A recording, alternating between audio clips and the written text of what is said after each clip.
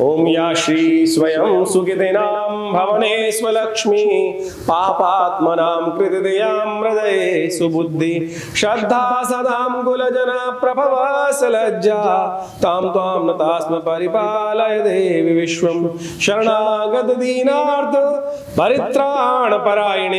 सर्वशार्ति हरे देवी नारायणी नमोस्तुते नमस्कार स्वागत है आपका आचार्य वाणी में। मैं आचार्य डॉक्टर विक्रमादित्य आपके साथ हूँ और हम बात करने जा रहे हैं मिथुन राशि वालों के भविष्य फल की। देखिए मिथुन राशि वालों इस वक्त ग्रह नक्षत्रों का योग जो आपके लिए चल रहा है मंगल चल रहे हैं आपके लग्न में।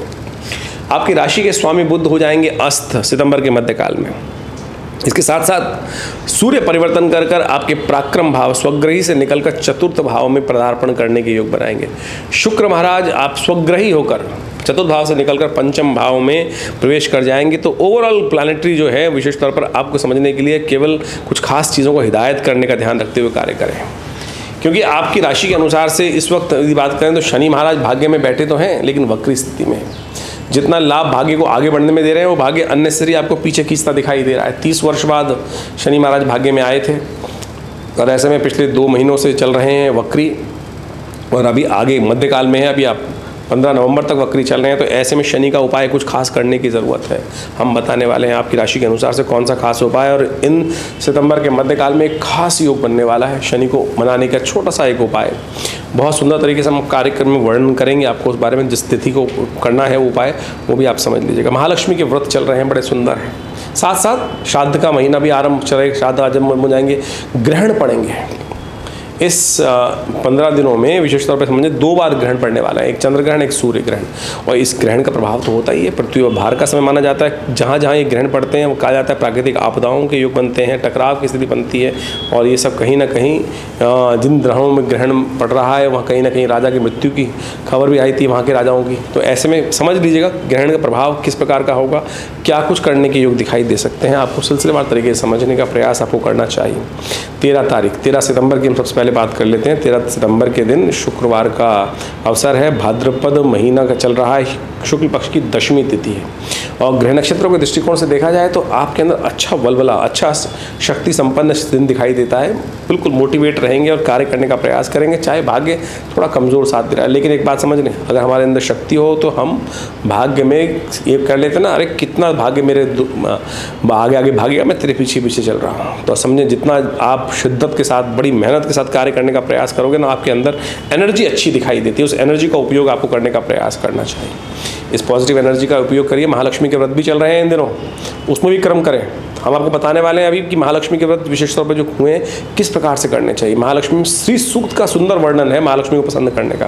कहा जाता है, इन महालक्ष्मी के व्रत के दौरान जो जातक नित्यपति भगवती महालक्ष्मी का की उपासना श्री सूक्त के मंत्रों के द्वारा, घी और कमल गट्टों के द्वारा आहुति प्रदान करते हुए देता है, उसकी मनोकामना सिद्धि के अद्भुत योग बन जाते हैं। आज समस्या क्या है? केवल बाह्य रूप से पूजन कर लेते हैं लोग, महालक्ष्मी का आरती कर ली, ये कर लिया, केवल उनका पूजन का दो फूल चढ़ाती है। ये पूजा कि बाह्य रूप हुआ। लेकिन जो तप है वास्तविक तौर पे, कहा गया, यज्ञ दान तपस्या पावनानी, मनीषी नाम, उसका सिद्धांत रूप से हमें समझना चाहिए। तो तप तो वही है, तभी तो व्रत पूरा होगा। व्रत का मतलब केवल भूख हड़ताल नहीं है। तो ऐसे में मंत्र जप, यज्ञ, ये सब चीज़ कर कर सुंदर विधि का पालन करते हुए यदि किया जाए चमत्कार होता है। और जो भी करते हैं, उनके जीवन में ये सुंदर रूप से योग बनता ही है। तो ऐसे में अवश्य ध्यान रखते हुए कार्य करने का प्रयास करना चाहिए। शुक्रवार है, गौ पूजन करें, कन्या पूजन करें, ये आपके लिए अच्छा रहेगा। चौदह तारीख की दिन बात करें, शनिवार है उस दिन और एकादशी तिथि है और मकर राशि में चंद्रमा का परिवर्तन होने के योग बन रहे हैं। आपके विशेष तौर पर अष्टम भाव में चंद्रमा पदार्पण कर लेंगे, बृहस्पति से दृष्ट हो जाएँगे और ये आपके लिए अच्छा है कहीं ना कहीं। मन खुल के काम करने से थोड़ा सा आपको कहीं ना कहीं संशय में उत्पन्न करेगा। खुल के काम करने में दिक्कत आने के योग बनेंगे जितना खुलकर कर रहे थे। लेकिन यदि कर लेंगे तो ये आपके रास्ते बनने के योग बना सकते हैं। यानी सब कुछ डिपेंड करता है आपके कर्म पॉजिटिव स्पीड पर, कर्म पर, सही रास्ते में चलने पर। सब कुछ इस पर डिपेंड कर रहा है। तो हम ध्यान रखें, तटस्थ होकर काम करने का प्रयास करें। ये आपके लिए सबसे ज़रूरी है। शनि का उपाय करने का अद्भुत दिवस है ये।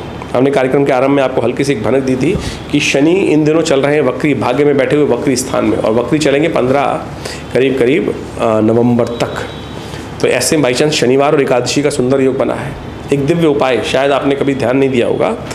तिल का संबंध शनि के साथ होता है और कहा जाता है कि तिल के उपयोग समस्त शनि के उपायों में करना चाहिए। चाहे यज्ञ में करें, चाहे तर्पण में करें, चाहे पीपल के ऊपर कुछ चढ़ाते हुए करें।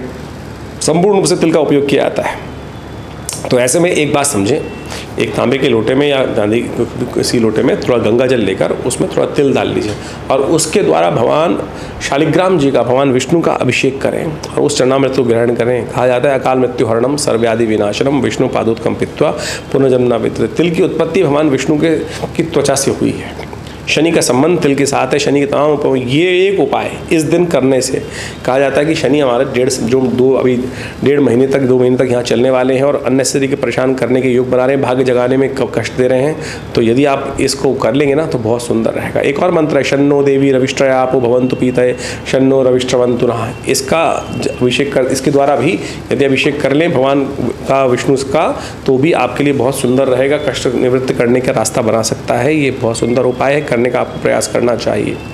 पंद्रह तारीख की दिन बात करें, रविवार का अवसर और द्वादशी तिथि है इस दिन। भाद्रपद मास की शुक्ल पक्ष की द्वादशी और इस दिन ग्रह नक्षत्रों के दृष्टिकोण समझा जाए तो बुद्ध होने जा रहे हैं अस्त।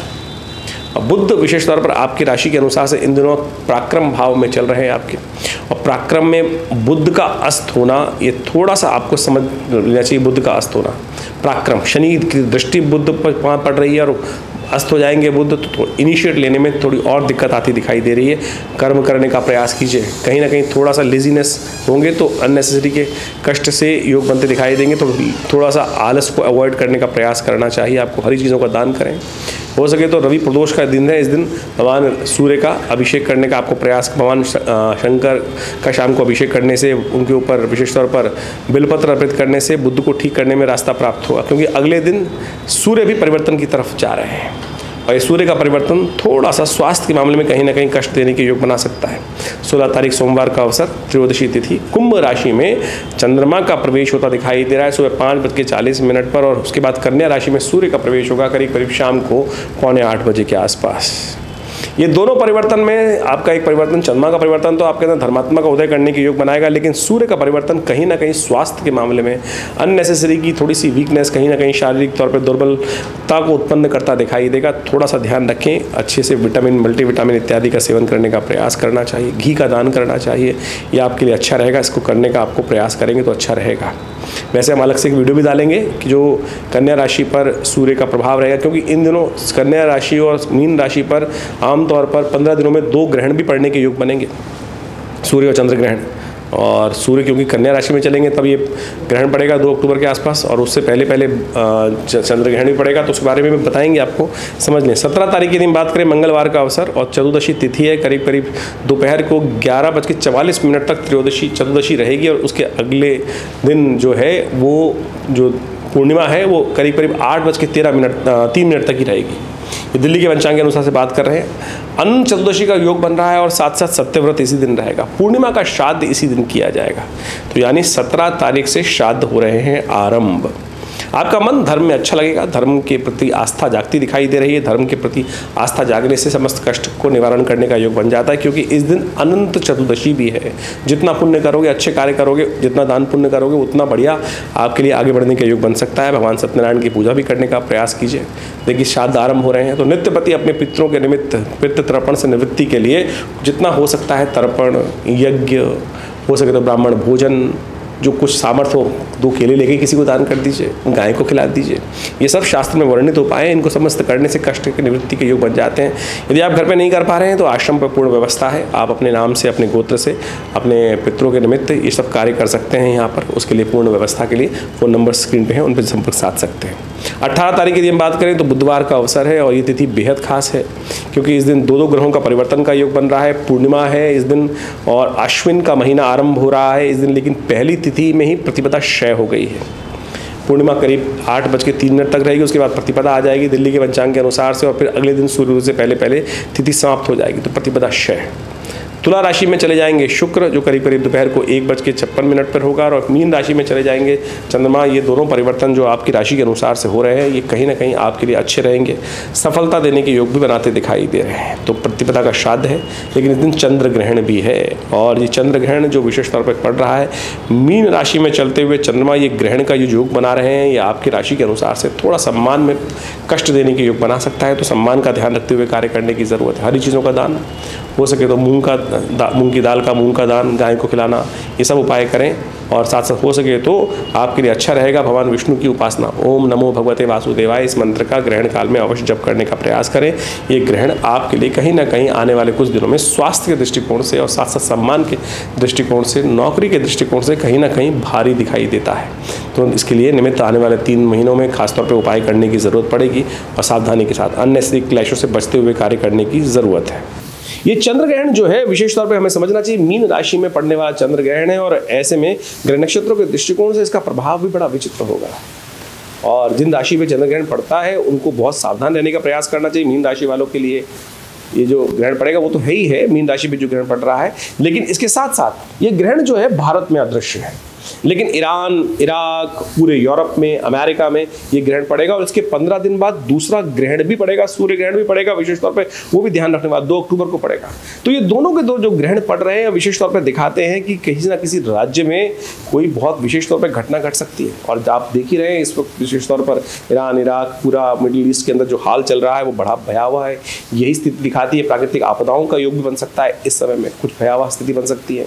तो जो भी कार्य कर रहे हैं, हम सावधानी से कार्य करने का प्रयास करें। गृह नक्षत्र दिखाते हैं कि रेल इत्यादि की वायु इत्यादि की दुर्घटनाएँ होने के योग भी दिखाई देते हैं। उठा पटक का माहौल रहेगा। लेकिन भारत में ये ग्रहण अदृश्य है तो इसके लिए ज़्यादा चिंता की ज़रूरत है नहीं। लेकिन यूरोप इत्यादि, अमेरिका इत्यादि में दो ग्रहण पूरे मिडिल ईस्ट में जो पड़ रहे हैं, पंद्रह दिनों के अंदर में, ये स्थिति अच्छी नहीं दिखाई देता और वहाँ पर कहीं ना कहीं कई क्षेत्रों में के लिए, राजाओं के लिए, कई क्षेत्रों में लोगों के लिए, वहाँ निवास करने वाले लोगों के लिए भारी रहेगा। तो आप अपने विशेष तौर पर कुछ उपाय अवश्य करने का प्रयास करें। जो ग्रह नक्षत्रों के दृष्टिकोण से आपके लिए बहुत ज़रूरी रहेगा। इन सब चीज़ों को समझते हुए कार्य करेंगे तो आपके लिए अच्छा रहेगा।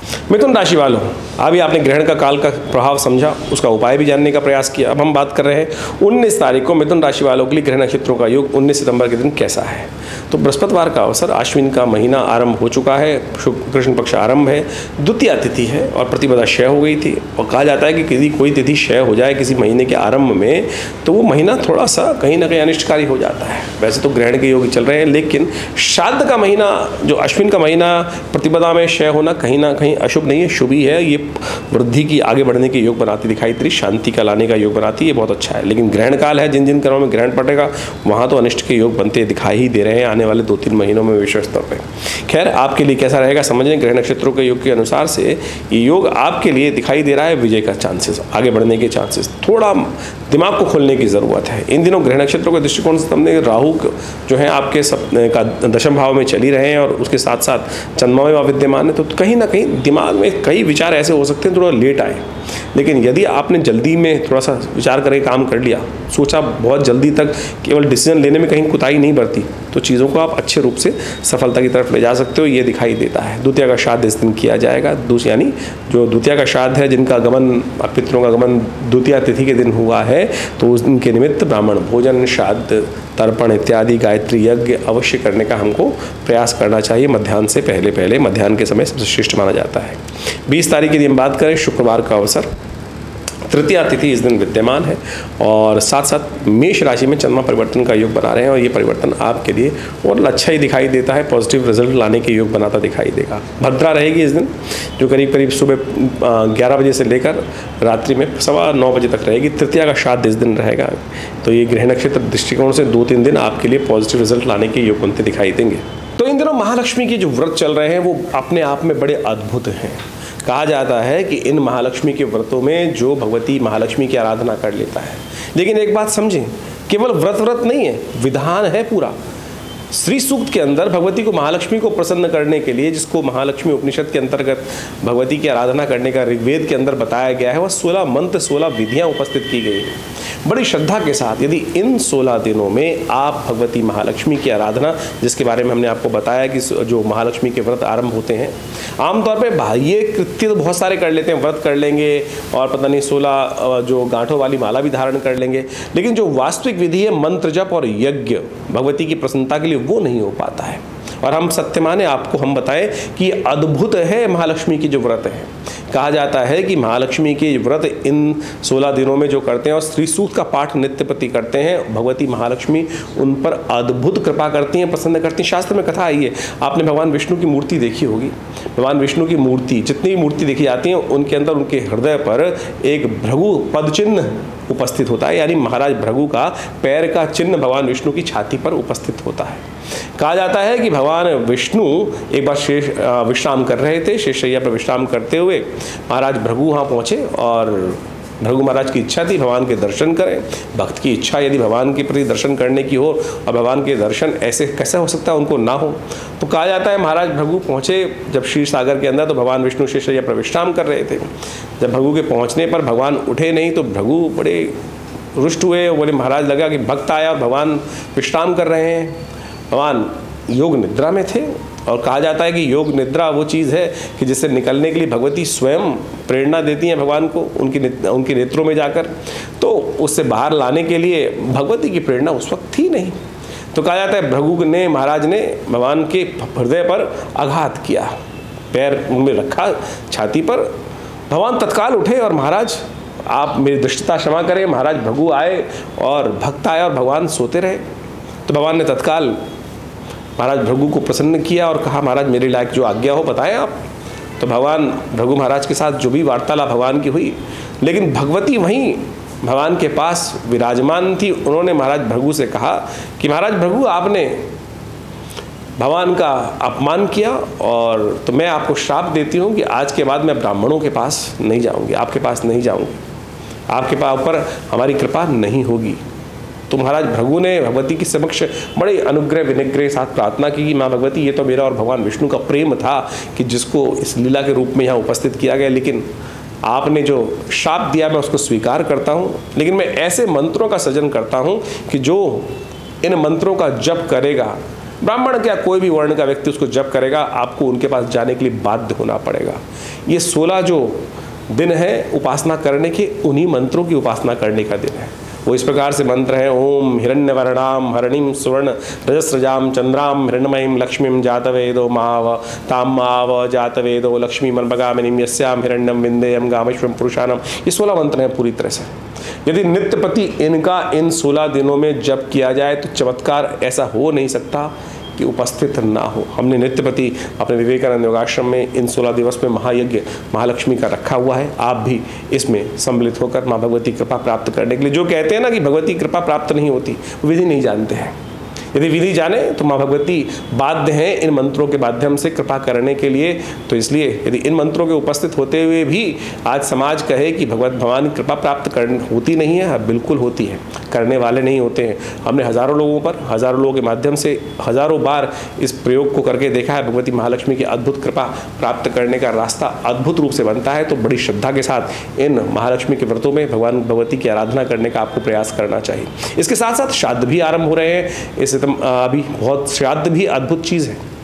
हमारे जीवन में कर्मानुसार हमें कई प्रकार के कर्म करने होते हैं, कई प्रकार के ऋण होते हैं, देव ऋण, पितृ ऋण, मनुष्य ऋण, कई प्रकार के व्यक्तियों को कार्य करना होता है उन सबको निवृत्ति करने के लिए। आमतौर पर लोग कह देते हैं पितृ दोष है आपकी कुंडली के अंदर। दोष नहीं होता, ऋण होता है। दोष नाम की चीज़ पितृदोष जैसी कोई चीज़ शायद पित्र आप रुष्ट आप रुष्ट हो सकते हैं, पितरों से पित्र आपसे रुष्ट कभी नहीं होंगे। हाँ ऋण होता है जो आपने उतारा नहीं तो सिर पे चढ़ता जाता है, भार, कर्म का भार जो चढ़ता जाता है, दुष्कर्म का भार चढ़ता जाता है, वो आपको परेशान करता है, कष्ट करता है। किसी के माता पिता किसी से रुष्ट कैसे हो सकते हैं? वो तो संसार के विपरीत जाने पर भी हमारे माता पिता हमसे कभी रुष्ट नहीं होंगे, इस बात का हमको ध्यान रखना चाहिए। लेकिन ऋण आप नहीं उतारेंगे तो फिर वो आपको जो कहा जाता है चक्रवर्ती ब्याज के तौर पर परेशान करता रहेगा। इस बात का हमें समझना चाहिए। और निवृत्ति के लिए क्या रास्ता अपनाया जाए? अरे, सबसे बढ़िया है श्राद्धों में अवश्य बड़ी बड़ी अजीब अजीब परिपाटियाँ हैं। लोगों ने ऐसा व्यवस्था बना दी है कि श्राद्धों के अंदर किसको श्राद्ध करना चाहिए अरे किसको नहीं श्राद्ध करना चाहिए। अरे हर व्यक्ति को श्राद्ध करना चाहिए। क्या छोटा क्या बड़ा क्या स्त्री क्या पुरुष? जी हाँ आज तो बड़ी विचित्र व्यवस्था ही है बन गई है कि बड़े भाई साहब करेंगे छोटे भाई करते ही नहीं हैं। या वो कर लेंगे हमने नहीं किया। स्त्री कहती है कि पुरुष कर लेंगे हमने नहीं किया। अरे शास्त्र हाँ, पिता माता जो पित्र थे वो सबके हैं। ये सबको करने का अधिकार है, सबको करना चाहिए। नित्य प्रति और उसमें कोई बहुत बड़ी परिपाटी नहीं है। हज़ारों रुपए खर्च होंगे, किसमें? श्रद्धा का समर्पण है। श्रद्धा, श्राद्ध का मतलब ही श्रद्धा का समर्पण है खाली। श्राद्ध श्रद्धा से ही बना है ना। तो श्रद्धा का समर्पण है। आप केवल जल ही अर्पित कर देंगे तो उसी से पितरों की तर्पित हो जाती है। बस याद, उनके निमित्त गायत्री जप करना, उनके निमित्त पितृ गायत्री का जप कर लेना, उनके निमित्त गायत्री मंत्र का पाठ कर लेना, उनके निमित्त जल चढ़ा देना, किसी गरीब व्यक्ति को भोजन करा दें, किसी गऊ का ग्रास निकाल दें, काक का ग्रास निकाल दें, चीटी के लिए ग्रास निकाल दें, और अमुक श्राद्ध तिथि में जिस दिन श्राद्ध आए तो अवश्य तर्पण कार्य कार्य अवश्य करने का प्रयास करना चाहिए। बहुत सीधा साधा तरीका है। आप सब इस बात को माने। शास्त्र में अनेक प्रकार से इन समस्त बातों को बहुत सुंदर तरीके से व्याख्या दी गई है समझाया गया है, लेकिन कुछ तथाकथित लोग इसको प्रपंच के रूप में उपस्थित करते थे। हाँ कुछ है भी स्थिति ऐसी कि आज समाज के अंदर कुछ प्रकार के ऐसा प्रपंच भी बन गया है कि जिसके अंदर उस पूर्ण, संपूर्ण विधि को हटाकर कुछ ऐसी गलत बातें जोड़ दी गई हैं। अभी बहुत दिन पहले मैं किसी चैनल पर लाइव कार्यक्रम कर रहा था, उस व्यक्ति ने मुझे लाइव पूछा कि महाराज, आप बताएँ कि ये ज़रूरी है क्या? इतने लोगों को भोजन कराया जाए, सौ लोगों को, दो सौ लोगों को, चार सौ लोगों, पूरे उनके यहाँ परिपाटी थी, गाँव के गाँव लोगों को भोजन कराने की व्यवस्था, तेरहवीं के भोजन पर इस प्रकार की व्यवस्था रहती है। शास्त्र में तो ऐसा कहीं नहीं कहा गया कि आप पूरे गाँव को भोजन कराएँ। श्रद्धा के साथ, अपनी सामर्थ्य को देखते हुए इस बात को कर्म को करने का प्रयास करना चाहिए। परिपाटी गलत कहाँ से आरंभ हुई कि किसी बड़े व्यक्ति ने भोजन कराया और आप जाके वहाँ भोजन करके आए और उसके बाद आपने उस समाज में अपनी नाक प्रतिष्ठा रखने के लिए अपनी नाक को बड़ा करने के लिए कि उससे बड़ा परिपाटी मुझे करनी है? तो पितृ तो नहीं शास्त्र तो नहीं कहता। तो शास्त्र को गलत तरह से इंटरप्रिटेशन करके कुछ लोग तथाकथित तौर पर उपस्थित करते हैं लेकिन श्राद्ध में जो शा, शास्त्र में जो बात की गई है जो श्राद्ध तर्पण इत्यादि करने के लिए तो उसमें तो केवल तिल चावल जौ और जल इसकी अपेक्षा और साथ में आपकी श्रद्धा की आवश्यकता है। तो इस बात को हम ध्यान रखते हुए करें, बहुत सीधी सादी विधि है।